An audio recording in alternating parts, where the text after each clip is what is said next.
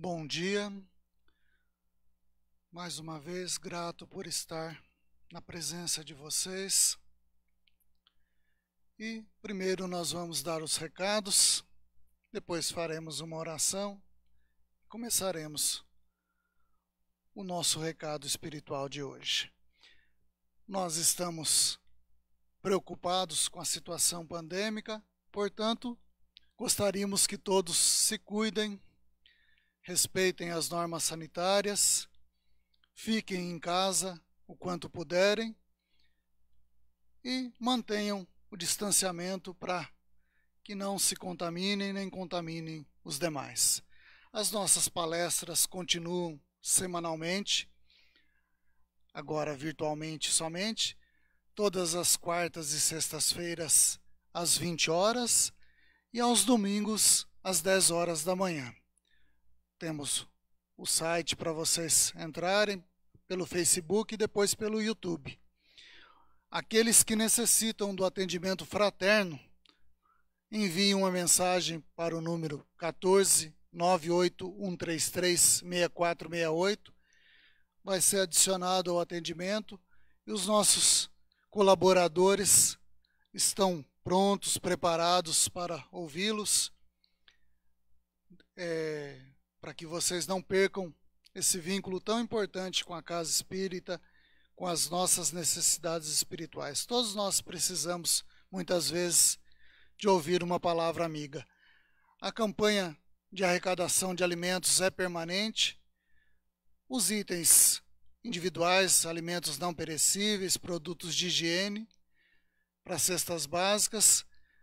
É, as informações com a Márcia, pelo telefone 99 988 12 9492 é, pode ser entregue também no CIPES, ou caso necessite, iremos buscar também.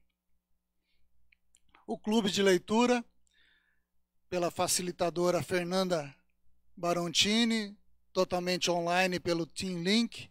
As inscrições 14 98 133 7733 com a Elaine.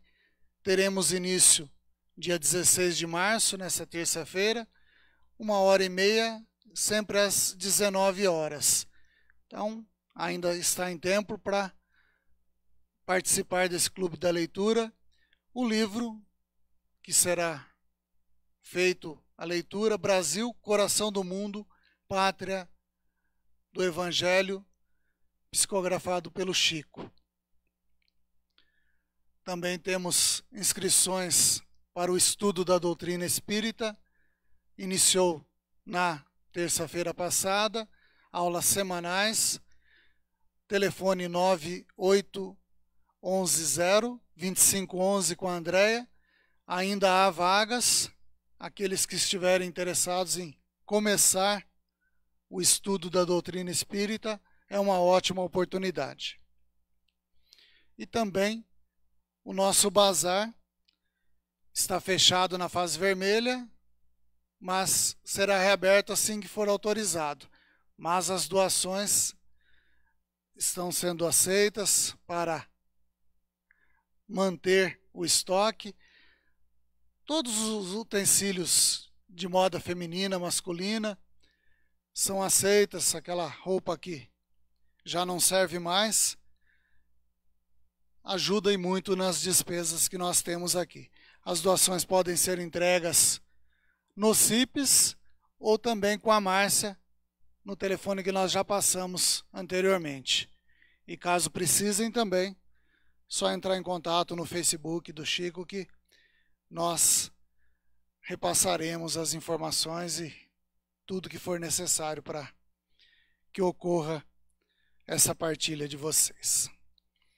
Eu quero iniciar fazendo uma oração agradecendo pela vida, pela oportunidade de estar aqui reunido com vocês e que possamos ser mais uma vez instrumentos dessa bênção que é a vida que nós recebemos.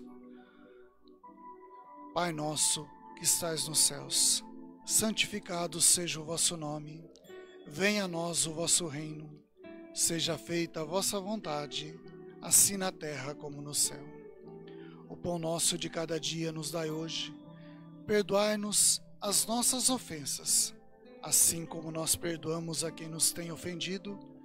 Não nos deixeis cair em tentação, mas livrai-nos do mal, hoje e sempre. Amém.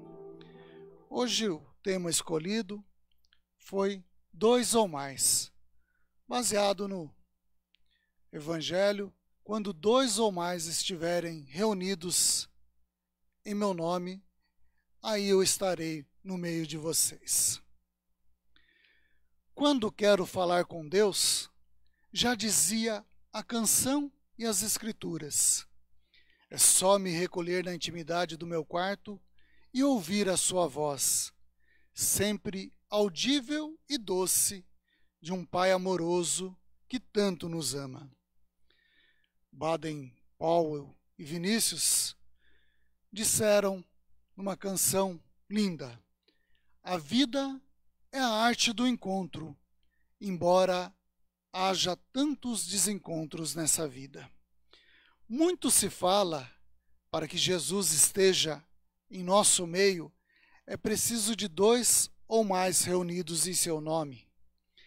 Então, isso é possível o tempo todo. Como assim, Ednilson? Quando estou sozinho também é possível? Sim.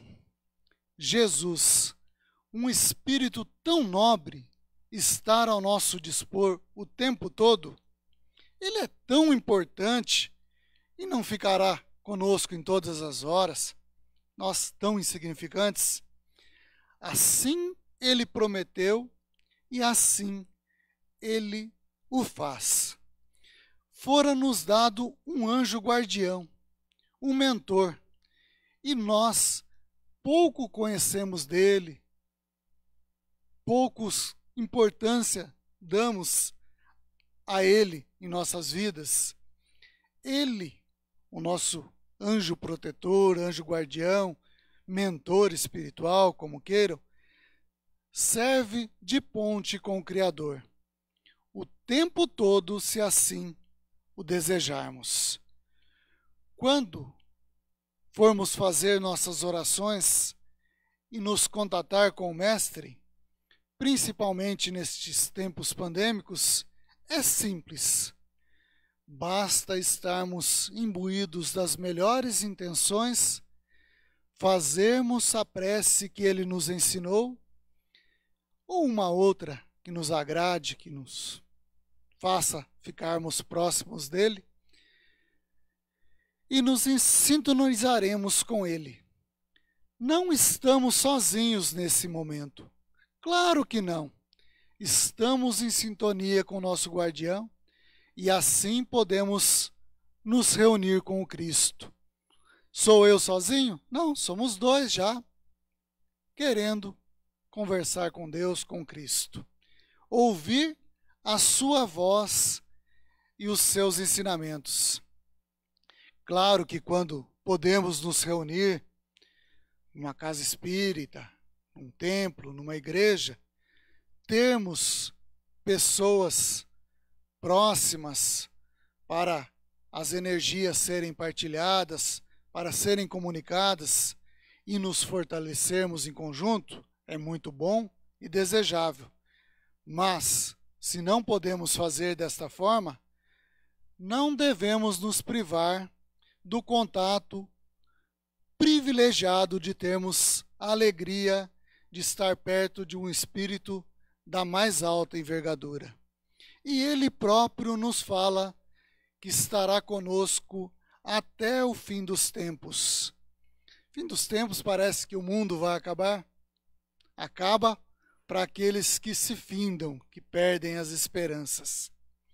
Muitas vezes queremos falar com Deus, mas não queremos ouvir o que Deus tem a nos dizer. Nós só queremos falar, lamentar, implorar, pedir, rogar. E não é esse o intercâmbio que nós devemos ter com Ele. Tudo isso que nós ficamos lamentando, implorando, pedindo. Ele já está cansado de saber.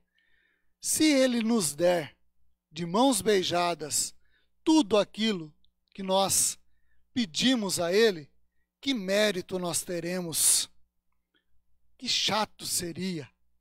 Tudo tão fácil. Que valor nós daríamos às coisas e a ele? Que é Deus? Deus é oportunidade. Deus não se apresenta como um ser sério, sisudo. Ele se apresenta em cada circunstância que você pode se lembrar dele. Está sempre contigo. Basta perceber as chances que ele te dá para ser visto, para ser percebido. Ele está nas plantas que florescem, nos animais que nos alegram, nas pessoas que nos amparam e sorriem, nas pessoas que de nós necessitam, naqueles irmãos que também estão juntos conosco, padecendo de muitas misérias, e muitas vezes nós não percebemos que Deus está ali nos cutucando para ver qual será a nossa reação. Nós pedirmos somente a Ele em oração para que se livre aquela pessoa daquela circunstância é o necessário. É importante fazermos isso, mas e a nossa parte? Qual está sendo feita? Somente fazer a oração e deixar que Deus se manifeste? Ele está querendo te usar, implorando para que você seja aquele instrumento. Precisa ser médium, precisa dons especiais, cura, milagreiro, o que seja. Não. Basta ser humano, ser solidário.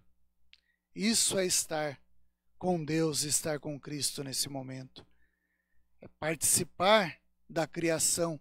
Muito se fala em cocriação. Quer estar criando com Deus e Ele lá dando as oportunidades e nós não abraçamos muitas vezes. É preciso ser devidamente esclarecido, ter inúmeros conhecimentos técnicos, teóricos. Não, basta somente estender a mão.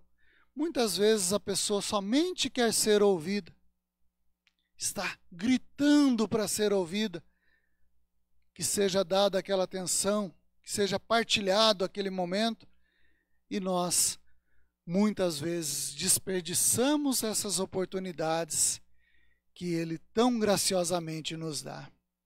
A gente roga tanto, implora, pede, e Ele dando constantemente as oportunidades e nós não nos identificando com elas, desperdiçando mesmo a chance de contribuir.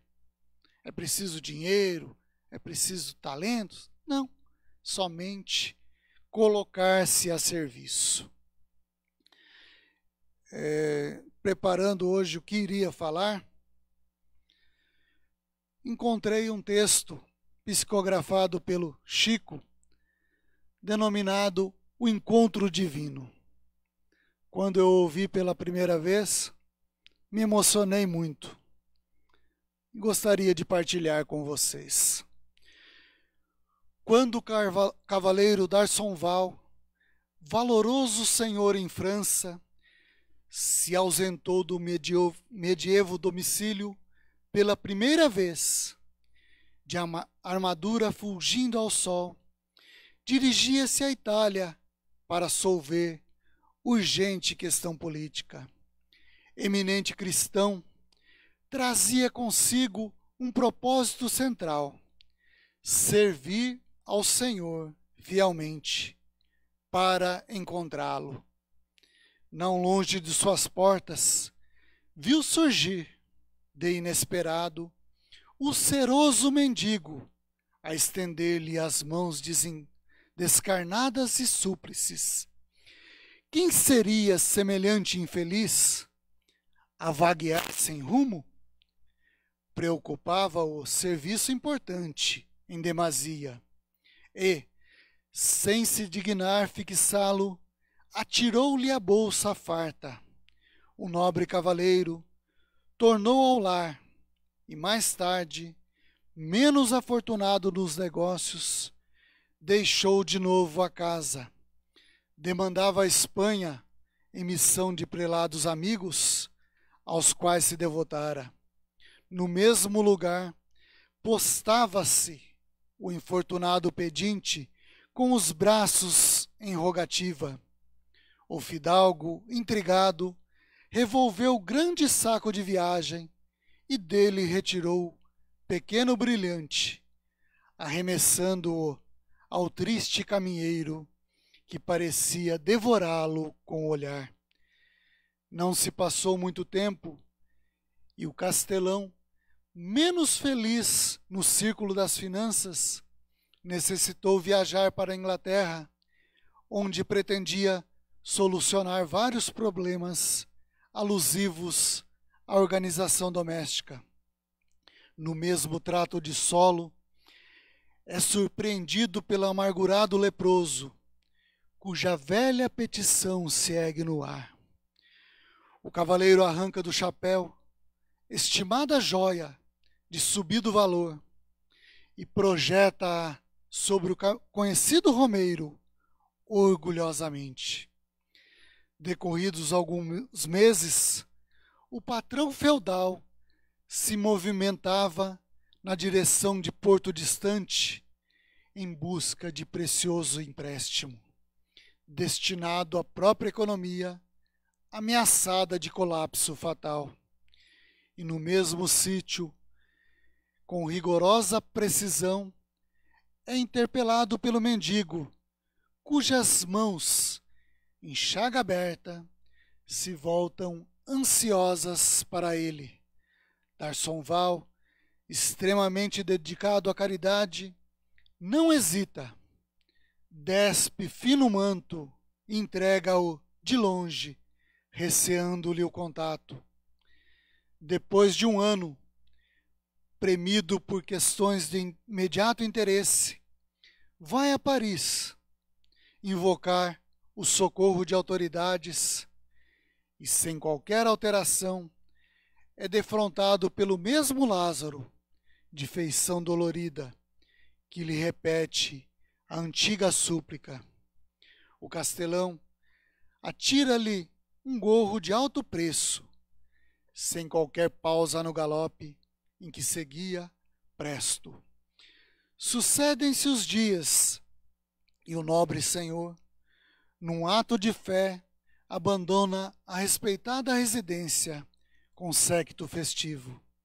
Representará os seus junto à expedição de Gogofredo de Bonilon, na cruzada que se pretende libertar os lugares santos.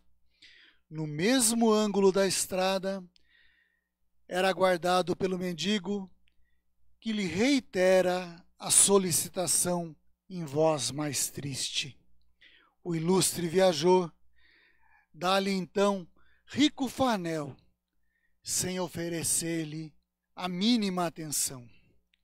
E na Palestina, Darsonval combateu valorosamente, caindo ferido em poder dos adversários. Torturado, combalido e separado de seus compatriotas, por anos a fio, padeceu miséria e vexame, ataques e humilhações até que um dia, homem convertido em fantasma, torna ao lar que não o reconhece.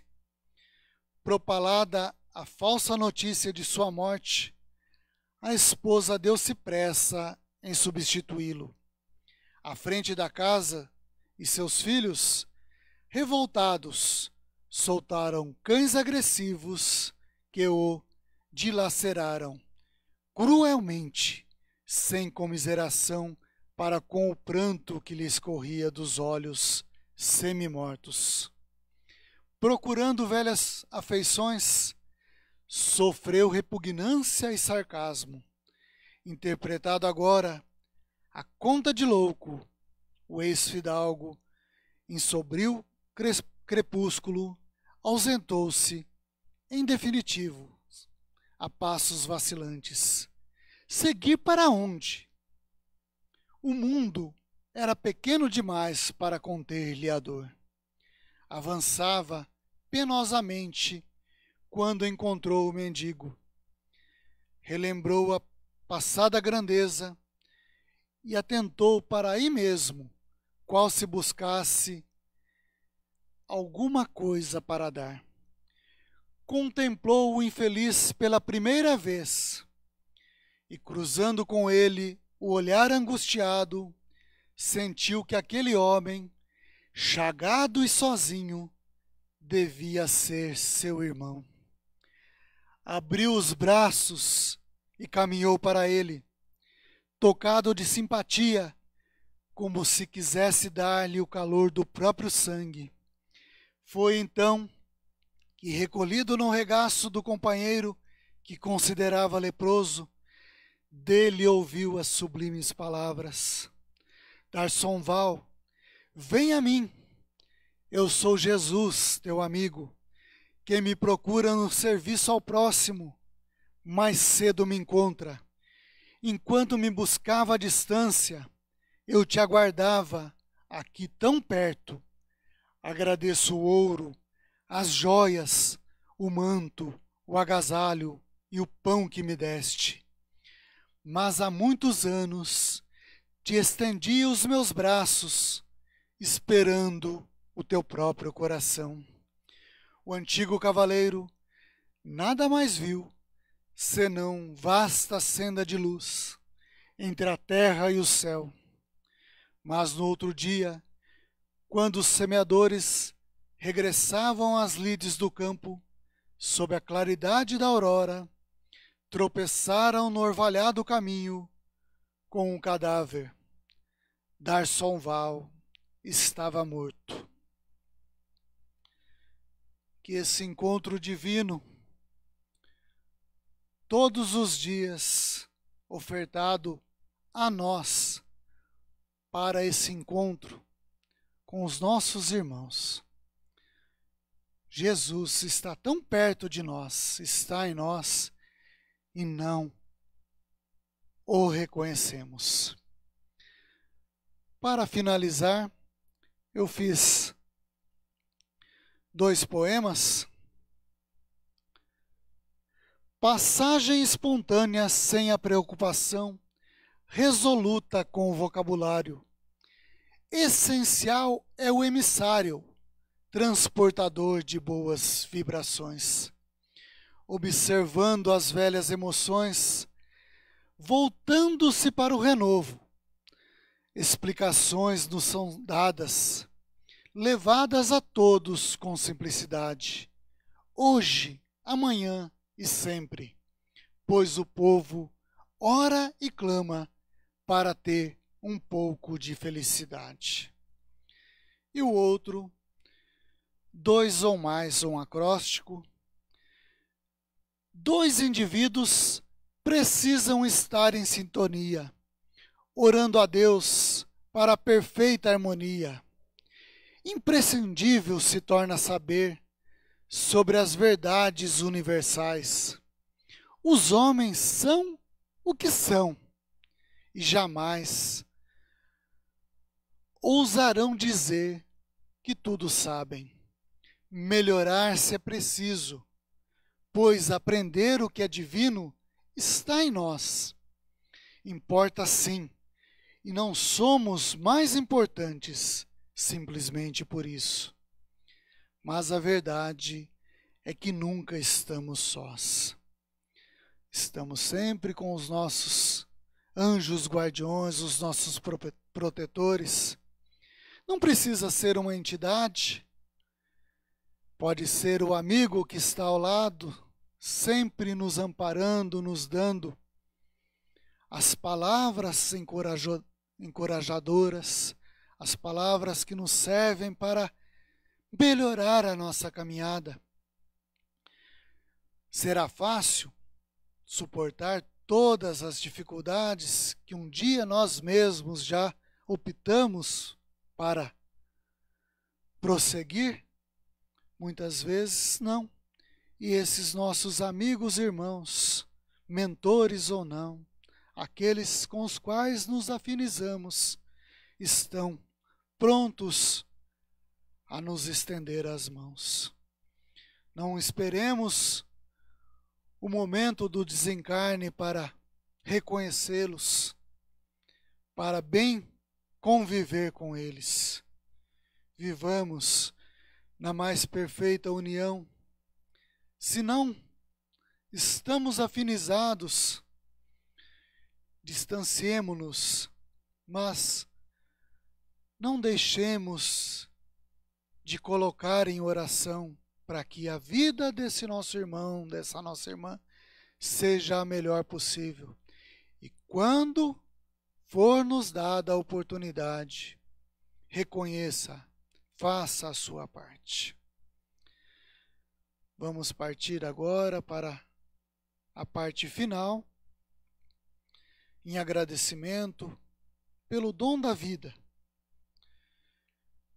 e também suplicando aos céus as equipes espirituais, médicas, socorristas, que possam minimizar as dores desses nossos irmãos, dos familiares que estão, de uma maneira ou outra, sofrendo com o vírus. Não o chamem de maldito. Não praguejem os povos dos quais eles se originaram. Façamos as nossas orações para que ele cause os menos males possíveis e que logo se dissipe, não causando mais nenhuma dor. Para isso, nós precisamos nos melhorar. Façamos as nossas orações, então, com a intenção dessa cura abençoada a todos. Peço que coloquem a água para fluidificar, que os mentores espirituais se façam presentes em todos os lares nos quais estamos sendo ouvidos nesse momento, levando luz, paz, harmonia. Todos sejam abençoados que essas águas sejam fluidificadas e sirvam também de alento àqueles que já estavam sem fé e esperança. Pai nosso que estais nos céus, santificado seja o vosso nome, venha a nós o vosso reino, seja feita a vossa vontade, assim na terra como no céu. O pão nosso de cada dia nos dai hoje Perdoai-nos as nossas ofensas, assim como nós perdoamos a quem nos tem ofendido. E não nos deixeis cair em tentação, mas livrai-nos de todos os males, hoje, agora e sempre. Boa semana a todos, que todos queiram realmente vivenciar uma boa semana. Partilhem, sejam felizes. Deus os abençoe, hoje e sempre.